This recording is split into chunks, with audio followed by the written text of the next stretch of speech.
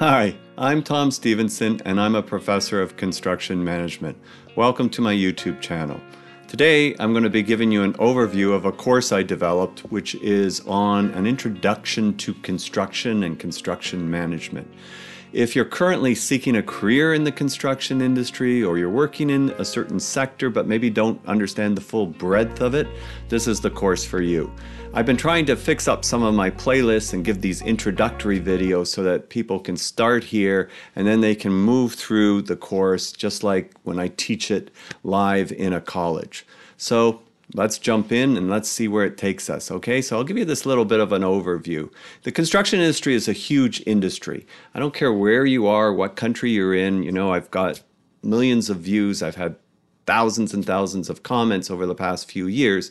And I get that people are in all parts of the world, uh, and um, there's a lot to the construction industry. There's a lot of sectors, there's a lot of specializations, and then we have to bring all these things together and make it work.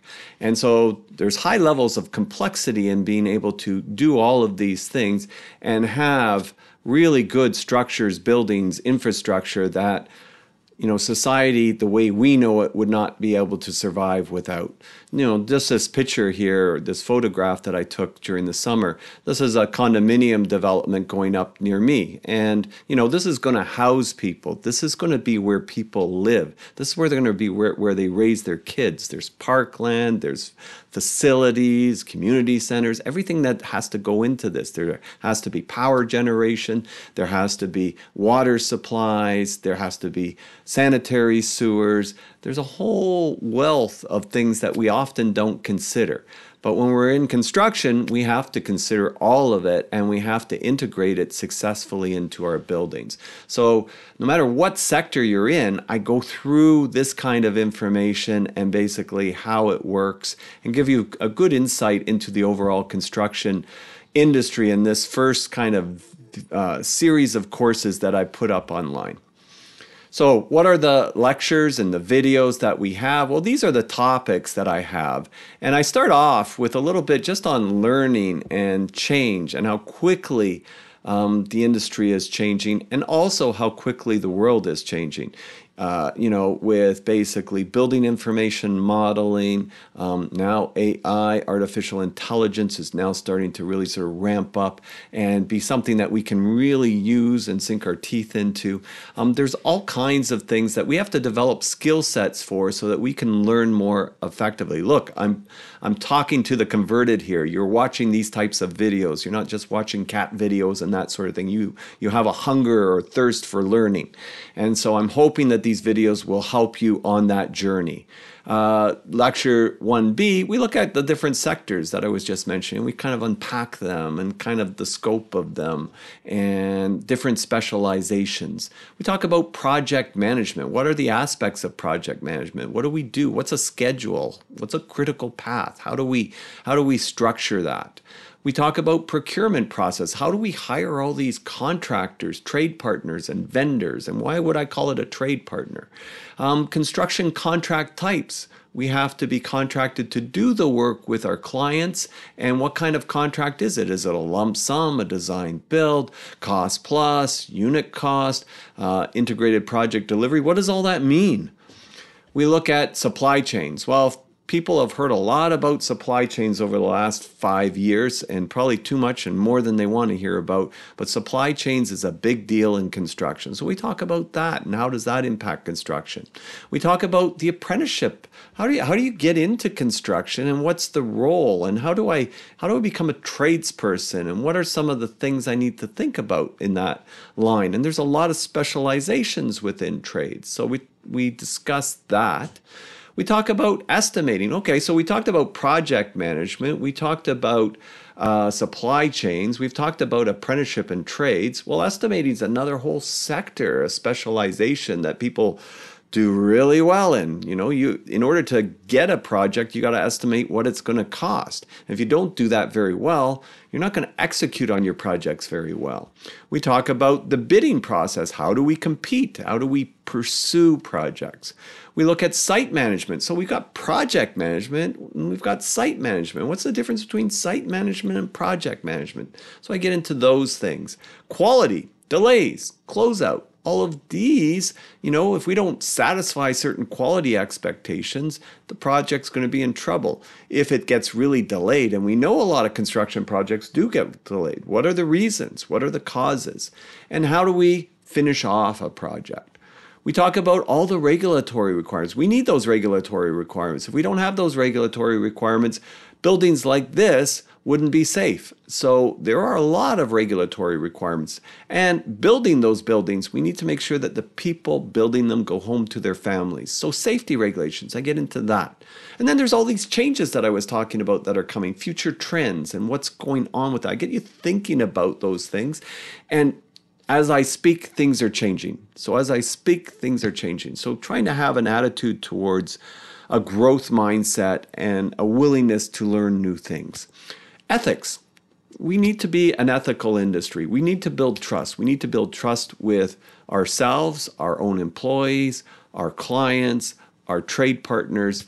And so, what does that really mean? And we talk about certain ethical standards that we need to strive for.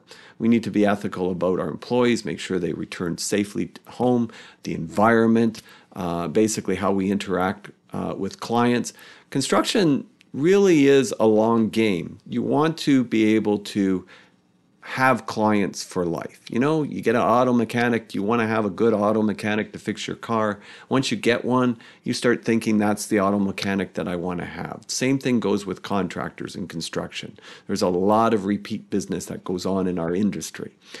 And oh, uh, associations. So I get into associations and certifications here. I've done other videos on my channel on uh, certifications, but I do get into associations and certifications and how associations work and how certifications work, like PMP as an example, or CM Lean. And I give a good introduction to lean construction because I feel that this is dramatically changing how we do things. And we have to make improvements. And I don't see how lean construction can veer us in the wrong direction, depending on how far you adopt and what you adopt within the parameters of lean. I think the philosophy is fantastic. And it really did uh, develop out of lean manufacturing continuous improvement, adding value to the client and respect for people. And then we give a course overview, a review like a, of what we talked about and try to pull all these little nodes of things that we put out there together and to have it make a good semblance of sense and really when you exit this program and this course i hope that you'll exit with a good idea of how to improve yourself, how to excel in your careers, and how to really be an provide added benefit to the construction industry. So if I'm able to do those things in this video, I'm going to be very, very satisfied um, with that and feeling good that I'm helping people um, to advance themselves in the construction industry. That's really um, a big thing for me uh, in this. Now, what I will do and what I have done in the description below, so if you open up the description below in YouTube, I will have provided the links to these videos. All right, so you can go to those videos. I recommend you go to my playlists. Take a look. You know, you click on the picture of the person, you look across the top, it says playlist. I have a bunch of playlists. You might have to scroll down for a few, but look for Introduction to Construction. Under that playlist will be all these videos. So it just makes it easy for you to get to the particular video you want. And of course, it really helps the channel, helps me to do more of these videos if you click subscribe. It also brings up new videos as I'm doing new videos all the time. And as things become pertinent, as you leave comments and questions, it lets me be able to respond to them and you'll be more quickly see it come up on your screen that way. So it's really, really helpful for the channel if you subscribe if you haven't done so already. The other thing is I'm going to provide a Google Drive link. And at the Google Drive link, you can download all of the PowerPoint slides for the course and you can also download there'll be the overview. So there's a folder that you'll be able to download. And then you know if there's notes you want to take uh, things of that nature as you're going through the videos you'll be able to take those notes and it'll be very helpful for you that way. I've had a lot of feedback on that. I've started to do that with my microsoft project uh, course, uh, Microsoft Project, the course, uh, providing those kind of links so people could follow along a little bit better. So I hope this will be helpful for you. I hope this will help you in your career. Please leave a comment. You know, what are you trying to get at in construction? Uh, if you have questions as you're watching the video, leave a, a comment like, what's this? I don't get that. If I have time, I don't always have time, but I try, uh, I will respond to you. And thanks for all the kind words um, over the years. I really, really do appreciate it. So I'm Tom Stephenson, wishing you a wonderful day, and we will see you next time. Bye for now.